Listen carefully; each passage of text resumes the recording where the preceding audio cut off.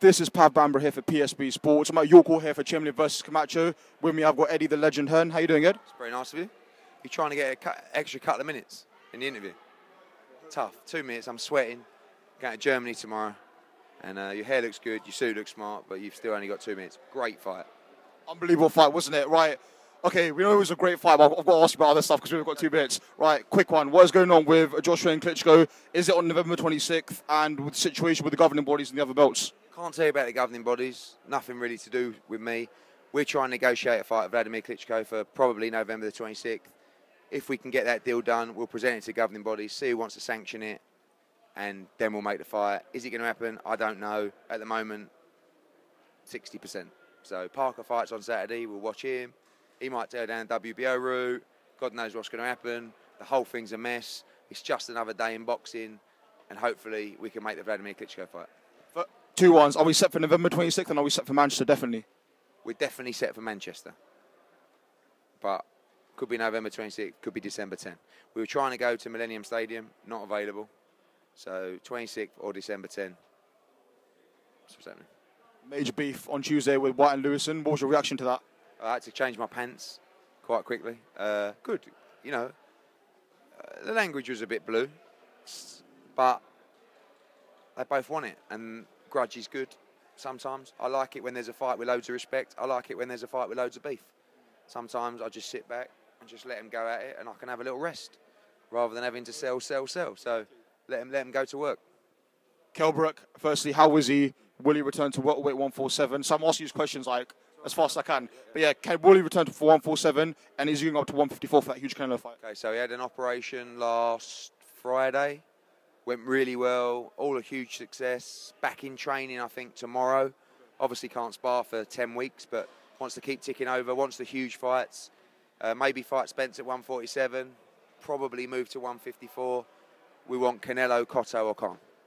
Canelo, Cotto, or Khan.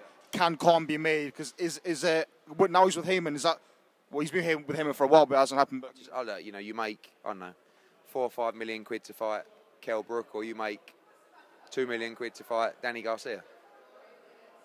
So anything big, anything major happening? Obviously, obviously, no, I'll be like even it, it, it, no, I'll be like even bigger because you've got Josh. bigger. What's bigger than Joshua Klitschko? Yeah, that is true. Okay. It's, it's very big. But like anything going on with like any other stuff that you could like tell us? Anything happening? Yeah, we're announcing a show on Monday. Be a two world title fights, maybe three. That's November the 12th. Yeah. Uh, I'm sorry, I got nothing else for you. Um, yeah. What for that show? Yeah, abroad. Yeah. Interesting. And how's the gymnastics? Obviously, moving to gymnastics now. Yeah, it's going well. Sold like 8,000 tickets on the first day. So my dad was taking the mickey out of me, boasting about it because he's more involved with that than me. And uh, no, it's a big success. Obviously, you know, do you hope to have more fight nights like this in York Hall? Absolutely, yeah. I'm not sure our accounts department want to because they're not really a big financial success. But I really enjoyed it, and you know, I'm proud to see the young kids coming through. And, and when you see the talent we've got, like I think a lot of people will leave here tonight and go, "Oh, Felix Cash, oh, Jake Ball, oh, they're good talents coming through." So you know, it's great. Um, how long? How long we got left? Thirty seconds. Okay, right. So um, T- Tyson Fury, obviously, you came under a bit of stick for the, some of those. You came under a bit of stick for some of those comments that you made. But obviously, you've explained yourself a few times. Obviously, you didn't actually mean any harm by it. You were just trying to say that let's get the belts active. Obviously, from your position. What I was saying was, people were talking about how you know could he cope with winning the belts and the fame, and I said what needed to happen. Not now. Now he needs help. But way back when he's talking this and saying that, is someone get hold of him, pull him to one side, and say, "Listen, get your head down, and just you're world champ.